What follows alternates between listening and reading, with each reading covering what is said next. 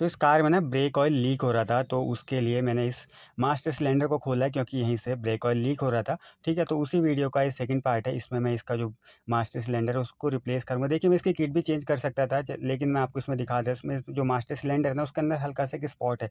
तो अगर मैं इसको ऐसे रिप्लेस करूँगा तो जो नई किट मैं लगाऊँगा, उसके भी ख़राब होने का चांस है। तो इसलिए मैं इसको चेंज ही कर रहा हूँ तो मैं नया मास्टर सिलेंडर पूरा ला गया हूँ, ठीक है। जेनविन में लाया हूँ, इसी को मैं रिप्लेस करूँगा। लेकिन इसमें एक चीज़ है ना, इसमें जो पीछे एक ओरिंग लगी हुई होती है वो मुझे नहीं मिली। तो मैं क्या करूँगा ना, जो ओरिंग होती है पुराने वाले की निकालूँगा। इसकी जो कंडीशन है, मैं पहले चेक कर लेता हूँ लगाने से पहले, क्योंकि ना ओरिंग बहुत इंपॉर्टेंट होती है। ठीक है, मैं इसको लगा सकता हूँ, वैसे तो हर बार आपको चेंज ही करनी होती है बट नहीं मिली तो क्या करें चेंज पुरानी ही लगा लेते हैं। ठीक है तो इसको पर अब हमें रिजर्वायर लगा लेना है। रिजर्वायर लगाने से पहले पुराने में ना एक पिन की हेल्प से वो टाइट क्या होता है तो उसको निकाल लेना है।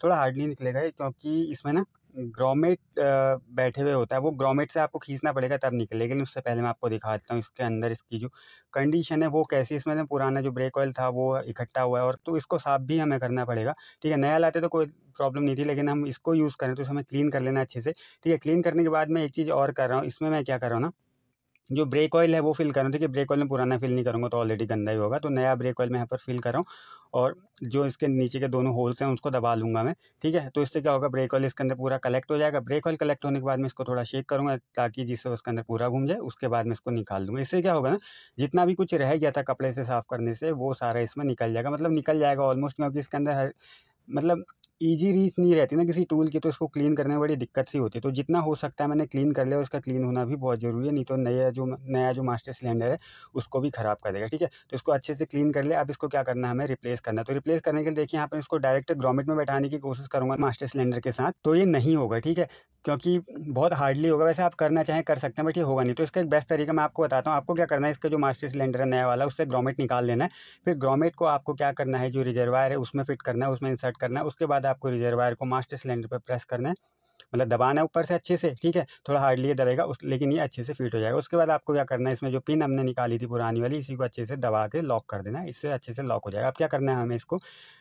वापसी इंस्टॉल करना लें इंस्टॉल करने से पहले मैं आपको बता दूँ इसका जो बूस्टर है, मैं रिप्लेस नहीं कर रहा हूँ बट मैंने इसको अच्छे से क्लीन कर लिया। इसके अंदर ज़्यादा ब्रेक ऑयल नहीं था तो इसको मैं दोबारा यूज़ कर सकता हूँ। इसको मैंने बहुत अच्छे से क्लीन कर लिया, ठीक है? अंदर कपड़ा डाल के अच्छे साफ़ कर लिया। बट आई सजेस्ट कि आप आपकी कार में कभी ऐसी कंडीशन हो, ऐसी सिचुएशन आए तो आप चाहें तो ब्रेक बूस्टर को रिप्लेस कर सकते हैं, ठीक है? तो यहाँ पर अब हमें नया वाला जो मास्टर सिलेंडर है, उसको हमें इंस्टॉल करना है। इंस्टॉल करना बहुत आसान है, यहाँ पर तो अब क्या करना है, इसको यहाँ पर अच्छे से लगाना है। देखिए, जैसे जैसे हमने निकाला था, वैसे वैसे इसको लगाना है। लगाना बहुत ज़्यादा आसान है, कोई भी आप आप अगर निकाल सकते हैं तो आप इजीली लगा भी सकते हैं, ठीक है? लेकिन ध्यान रखना, जो वॉशर हमने निकाले थे ना, उन वॉशर को दोबारा आपको लगा लेना अच्छे से और फिर इसको टाइट करना देखिए ओवर टाइट कोई भी चीज़ नहीं करनी वैसे तो टॉर्क रिंच हर किसी पर होता नहीं है। इसलिए मैं कह रहा हूँ कि ओवर टाइट कोई भी चीज़ नहीं करनी। इसको इतना टाइट करना है कि ये ढीला भी ना रहे और जो बोल्ट हैं वो भी ना टूटे, ठीक है? तो ये अच्छे से टाइट हो गया। ठीक, अब क्या करना है? हमें यहाँ पर ब्रेक लाइन लगा लें। देखिए ब्रेक लाइन यहाँ पर बहुत आपको ध्यान से लगानी पड़ेगी क्योंकि मेटल लाइन्स होती हैं। अगर इनकी चूड़ी एक बार टेढ़ी चलेगी ना, फिर लीक करने लग सकती है। फिर अगर एक बार ये लीक कर गई या फिर इनकी चूड़ी ख़राब हो गई फिर आपको ये मेटल लाइन चेंज करनी पड़ेगी। तो इनको बहुत ध्यान से आप लगाना, ठीक है? इनको आप पहले हाथों से कस लेना, अच्छे से हैंड टाइट कर लेना, उसके बाद ही इनको आप किसी सॉकेट की हेल्प से इसको टाइट करना। वैसे यहाँ पर वन एंड स्पैनर लगता है, लेकिन इसके लिए अलग से फ्लेयर रेंच आता है, मैंने जैसा आपको बताया, अगर आपके पास नहीं है तो आप वो ले लीजिए, ठीक है? बट मैं इसको यहाँ पर, मेरे पास जो ओपन एंड स्पैनर है, मैं उसी से टाइट करूँगा। एक चीज़ मैं आपको बता दे रहा हूँ, देखिए, अगर ओपन एंड स्पैनर किसी भी नट या बोल्ट पे ढीला चल रहा है तो उसको आप यूज़ मत कीजिए। ओपन एंड स्पैनर को हमेशा टाइटली जाना चाहिए तो उससे आप इंश्योर हो जाएँगे कि आपके जो बोल्ट या नट हैं, वो इससे घिसेंगे नहीं। तो मैंने इसको अच्छे से टाइट कर लिया, यहाँ पर मैं इसका सॉकेट भी लगा लेता हूँ, ठीक है? एक चीज़ मैं आपको और बता रहा हूँ, मैं अब इसके बाद क्या करना है, इसमें हमें ब्रेक ऑयल फिल कर लें तो ब्रेक ऑयल फिल कर लेता हूँ और एक चीज़ मैं आपको बता देता हूँ, जो इसके जो, इसकी जो लाइन्स होती हैं, इनको इतना टाइट करना है कि ब्रेक ऑयल भी लीकेज ना हो और वो टूटे भी नहीं, डैमेज भी नहीं हो, अगली बार कभी हमें खोलने की ज़रूरत पड़े तो। और अगर बाद में ब्रेक ऑयल डालने के बाद वो लीक करें तो आप उनको थोड़ा बहुत और टाइट कर सकते हैं, ठीक है? तो ब्रेक ऑयल मैंने अच्छे से यहाँ पर फिल कर लिया। अब हमें क्या करनी है? इसमें ब्रेक ब्लीडिंग करनी है।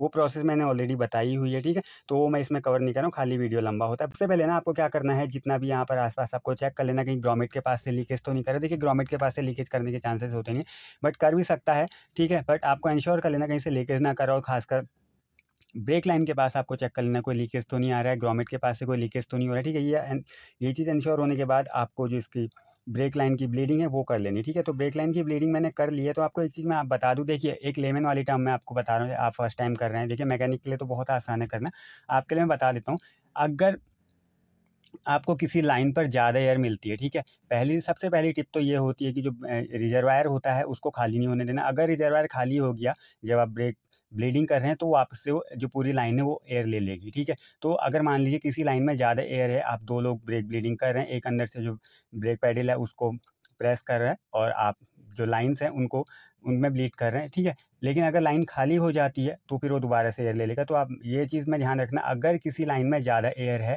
तो आप जो रिजर्वायर है उसको खाली होने से पहले फिलअप कर देना, ठीक है? तो ये आपके लिए बहुत ज़्यादा आसान रहेगा, वरना आप परेशान हो जाएँगे ब्रेक बेडिंग करते करते। आप एक लाइन के निकाल, आप दो के निकाल के आएँगे, पीछे आएँगे, हो सकता है कि पीछे वाली लाइन में ज़्यादा एयर हो उतनी देर में जो रिजर्वायर है वो खाली हो गया तो दोबारा से आपको फिर से वही प्रोसेस रिपीट करनी पड़ेगी। तो ये चीज़ का ध्यान रखना और बाकी यहाँ पर मैंने सब कुछ कर लिया है। ब्रेक भी अच्छे से आने लगे ब्रेक लाइन में भी कोई एयर नहीं है। ये आप पता कर सकते हैं, आपके जो पैडल होता है वहाँ से इजीली पता चल सकता है और ब्रेक को आपको चेक कर लें, ठीक है? तो ये सारी प्रोसेस हो गई है। होप आपको अच्छी लगी होगी। तो अगर अच्छी लगी तो आप चैनल को चाहें तो सब्सक्राइब कर सकते हैं और मिलते हैं नेक्स्ट वीडियो में किसी और टॉपिक के साथ। तब तक के लिए बाय टेक केयर